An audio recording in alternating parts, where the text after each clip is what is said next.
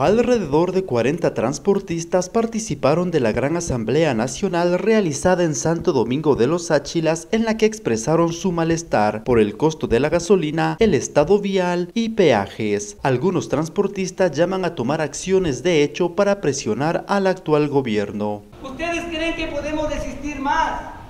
¿Ustedes creen que debemos quedarnos aquí impávidos esperando que le quiten la, la unidad al compañero? Claro, como a mí no me toca, pues dejémosle.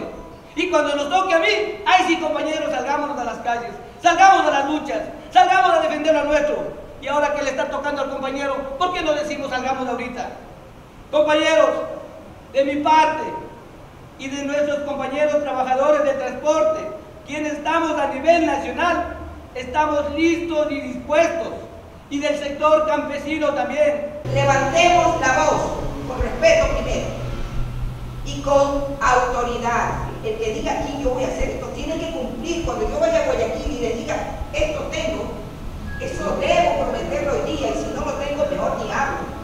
Porque la lucha no es de tres, este salón lleno. No, señores, la lucha es seria. Sin embargo, Alex Ayala, presidente de la Unión de Transportistas del Ecuador, manifestó que esta es la última acción que deberán ejecutar, que primero convoca a la gran unidad del gremio y que existe un proyecto de metodología del piso tarifario presentado un día antes de esta reunión por parte del gobierno. Sin embargo, indicó que el documento fue hecho al apuro y no tiene sustento técnico. Para poder entrar a discutir con documentos Lastimosamente somos enseñados a ir de bla, bla, bla, bla, bla, bla, y bla, bla, bla, y no tenemos ni papa, lo que es peor.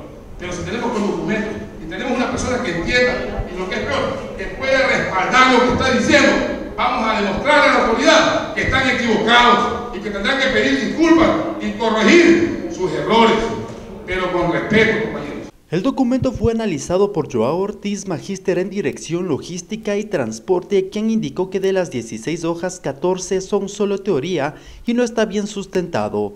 Incluso habría inexactitudes respecto a algunos criterios planteados en el mismo. Dado que en el Ecuador no existen estudios de pisos tarifarios para la modalidad de transporte de carga pesada y sus diferentes tipos de vehículos, se ha revisado la documentación internacional es totalmente mentira, porque en Ecuador ya existe el piso tarifario establecido por el CERCO para cada modalidad de transporte, para cada ruta, para cada tonelaje de cada camión. Ya existe un costo de kilómetro recorrido, un valor del flete que nos pueden pagar para cada vehículo en cada modalidad de transporte. Fernando Ortiz, presidente de la Unión Provincial de Transporte Pesado de Santo Domingo, criticó el documento y a las autoridades que improvisan la forma de establecer el piso tarifario jugando con la situación del transporte pesado, algo que no se los permitirá. Esto es una burla para los transportistas ecuatorianos.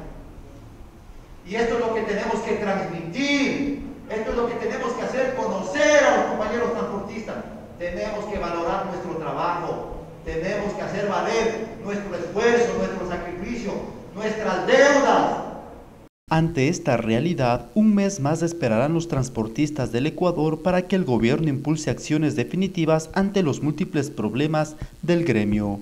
Después de 30 días se concentrarán nuevamente para analizar el tema. En caso de no existir soluciones hasta esta fecha, se declararán en resistencia y suspenderán el servicio en todo el territorio ecuatoriano. Para Ciudad al Día informó Patricio Aguas Castelo.